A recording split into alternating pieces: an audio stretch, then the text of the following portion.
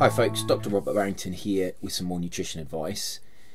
Now this video is going to be on um, magnesium monotherapy and how it can be used to, to treat anxiety or depression.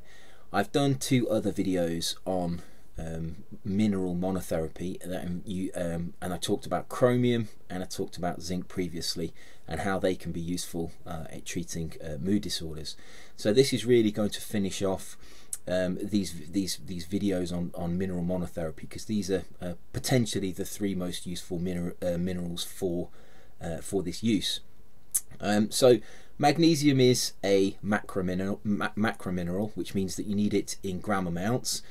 Uh, and really, there is a ratio in the diet between calcium and magnesium that is required to be maintained uh, within a particular uh, range. And it's not fully understood, and what that it's not fully understood what that uh, ratio is between the calcium and the magnesium, um, and it will vary uh, between different people. But it's suggested that uh, a, a, ratio of around um, one to one for calcium to magnesium is what's needed to maintain health. Now, the problem that we have is that the Western diet supplies far too much calcium and far too little magnesium. And what we tend to see is when we look at research papers that measure the magnesium levels on magnesium intakes of, of individuals, uh, we found that uh, generally those people consuming a typical Western diet have far um, too uh, little magnesium in their diet and far too much calcium. Um, if you eat a diet that is high in plant foods, you tend to redress that imbalance because green leafy vegetables, uh, vegetables in general, they tend to have higher amounts of magnesium, particularly the green leafy vegetables because magnesium is a component of chlorophyll and chlorophyll is what makes those leaves green. So if you eat a lot of green leafy vegetables like spinach, kale, uh, those types of vegetables you tend to have high amounts of magnesium in your diet. Nuts and seeds also contain high amounts of magnesium. So those people that go out of their way to consume uh, a traditional diet, a more healthy, uh, rounded, balanced diet that contains uh, a lot of plant foods and plant material, they tend to get closer to that magic one-to-one -one ratio. Now why is this important? Well, magnesium uh, is uh, a macro mineral. It's needed for a large, uh, as a cofactor for a large number of enzymes in the body. And if we have a magnesium deficiency, those enzymes stop working. Now, some of those enzymes are required for neurotransmitter metabolism, either the synthesis, the breakdown uh, of, of neurotransmitters in the brain, and also accessory substances to those um, uh, to those minerals. And magnesium and calcium is also required for correct electrical conductivity uh, of the nervous system. So magnesium plays a very pivotal point, a very pivotal part in brain health and central nervous system health. And if we have a deficiency of magnesium, the central nervous system uh, stops working to maximum efficiency, and this is where mood disorders can develop. And there's been uh, studies um, done on animals uh, that looked at the magnesium uh, uh, intake of animals. And there was one study that I will put the link to in the comments box below this video that looked at uh, magnesium deficiencies in mice and what they found was that when they took the mice and they fed them a, a, diet that contained all of the substances they required but it was 10% deficient in the amount of magnesium that they required what they found is that the mice uh, exhibited behavioral changes. And some of those behavioral changes um, were related to uh, an increase in anxious behavior. Um, now, this this was is obviously anxiety and depression are very difficult to detect in animals because you can't ask a mouse uh, how it's feeling. Uh, and anxiety and depression obviously quite generally quite subjective of the person.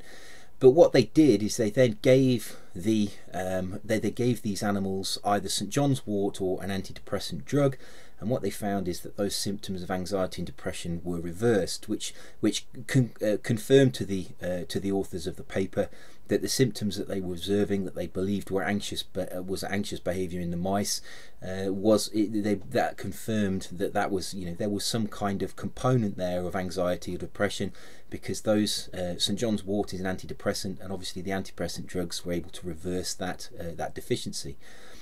So that's a good piece of evidence that magnesium deficiency is involved in at least the development of or the initiation of um, uh, mood disorders, anxiety, depression, which are which are really interlinked mood disorders. They're very difficult to separate sometimes. Um, there have been a number of case studies that looked at magnesium supplementation in humans because animal studies are very interesting, but they don't always give the full picture. So, if we have a look at the studies that have been done on humans, um, there was one study, again, I will put the link to this in the comments box below this video, that was a case study that looked at an individual man um, who was uh, had a history of depression and anxiety.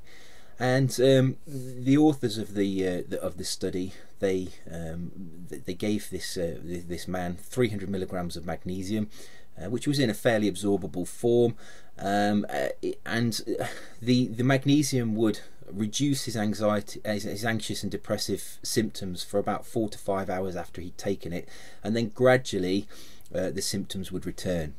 So that would fit with the magnesium being absorbed, being utilized, uh, and then being, you know, magnesium levels gradually in the blood perhaps turn, returning to normal.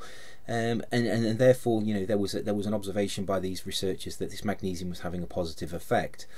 What was very interesting about this study was when when this gentleman uh, took dairy products, which are obviously, you know, are, they're not the greatest source of calcium, but they do supply calcium and they are a reasonable source of calcium when this gentleman, this subject, took uh, uh, dairy products, he found a word. They the, the, researchers observed a worsening of his depressive and anxiety, anxious symptoms. Now, that's not to say, and I want to make it very clear that, that, that dairy products cause anxiety or depression. What the what the researchers were actually showing was that the it was the imbalance between the calcium and the magnesium that was probably the cause of his depressive symptoms. When you give the when he get when the subject received magnesium, there was an, there was an easing of his symptoms, and when he received a source of calcium, uh, in this case it was as dairy products, there was a, a worsening of his symptoms. So that's something to bear in mind. Um, it was a nice little piece of evidence that actually uh, it was very likely that this person had too little magnesium in his diet, and therefore the supplementation uh, of magnesium was beneficial, and too much calcium, and therefore when he took additional sources of calcium, there was a worsening of his symptoms. Now, the thing about magnesium is it's been shown to be uh, a very good muscle relaxant. It's a it's a very you know it's been shown to have calming effects in many studies, particularly on anim in animals and humans. So it's no surprise that it has a benefit against anxiety um, because anxiety is really a, a, form of agitation. It's a form of um, uh, um, hyperexcitability, uh, and and most of the supplements and most of the herbs, most of the, the the you know even the therapies for reducing anxiety like meditation, um, you know they're, they're they're aimed at calming the central nervous system, and so they they're trying to take this agitated state and return it to a state of calm. And magnesium is a very calming mineral. It's a it's a it's a muscle relaxant uh, because it antagonizes calcium. Calcium is what causes the release of calcium in muscles is what causes muscles to contract. And um, magnesium is, is is a calcium channel blocker. It will block the influx of calcium into the muscles and that will cause a relaxing effect.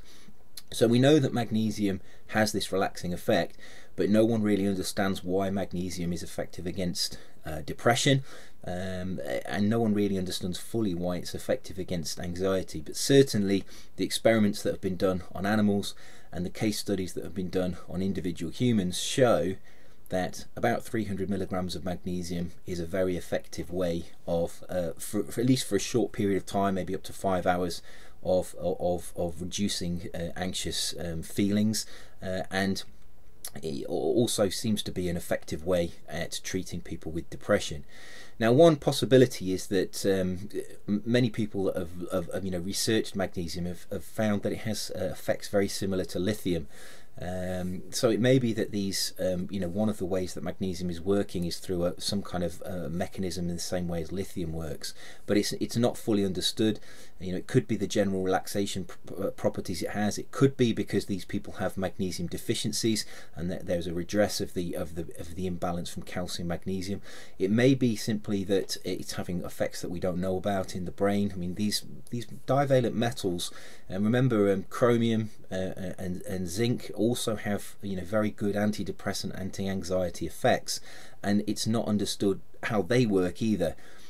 Um, so, so the, there may be some mechanism that we don't fully underst understand, but certainly zinc, chromium, and magnesium monotherapy has been shown uh, in specific case studies on individual humans uh, uh, uh, to be very effective against treating both anxiety and depression. And in animals, there's a lot of lot of evidence that these minerals um, do work to, to decrease anxious behavior and they do have antidepressant effects. So I get asked a lot of questions about um, people come to my channel and they come to my uh, my blog and they ask me, you know, I have I have anxiety, I have depression, what can I do? And many have heard about tryptophan, many have heard about L-theanine, uh, many have heard about uh, GABA, uh, and some of the other amino acids and some of the other therapies. But very rarely, when I mention magnesium, has anyone ever come across the fact that magnesium is a very effective antidepressant and a very effective anxiolytic compound. Uh, it's very cheap, uh, it's very safe, and the benefit is that most people, unless you're very careful with your diet, uh, will require more magnesium anyway, so it will have other health benefits. Um, and uh, you know it's one of those things that I think is, is there's no really there's no real downside to trying it because if you try taking 300 milligrams of magnesium a day you're probably going to do yourself good in other ways anyway because you will very likely have an imbalance in your calcium magne uh, magnesium ratio.